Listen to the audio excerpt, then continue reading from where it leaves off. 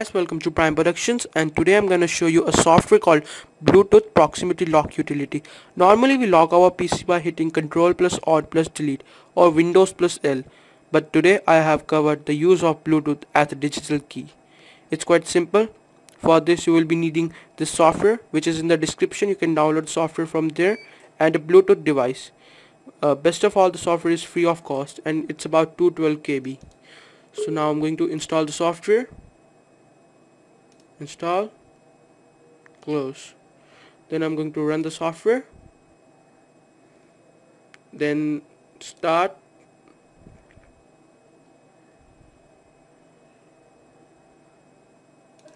It's going to take some time